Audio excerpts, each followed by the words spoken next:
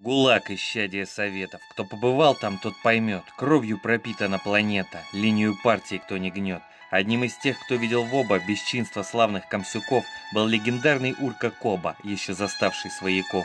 В 37-м Коля родился в старом селе, что под Москвой. Кровью союз тот год залился, жатва людей, террор большой. Потом война, с нею голод.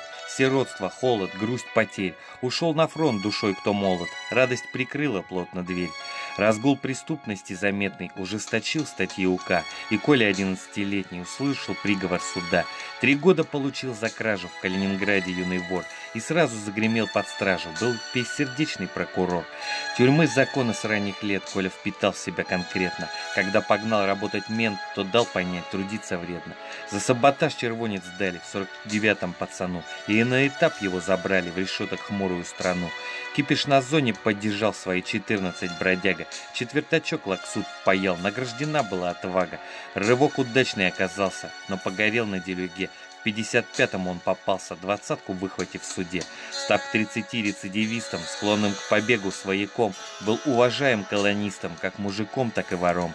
В 60-х был на пуксе, Хрущев с ворами вел борьбу. Страдали урки часто в Сусе, на радость красному козлу. Двенадцать душ их за чефир на лагере в тот кон судились.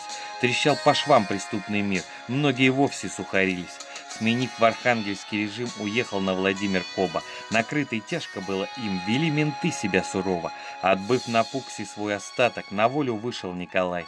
Почти что 28 пасок не видел он, цветущий май. Скрутили в 76-м, семеру сроку наболтали. Теперь тянул он на ребом, в Каргополлак Кобу загнали. В 46 лет освободился, больше полжизни в заперти. Честь сохранить всегда стремился и не сворачивал с пути. Смерть в 50 Колю и настигла. В Ташкенте был он погребен. Надеюсь, прибрана могила, и не забыл никто о нем.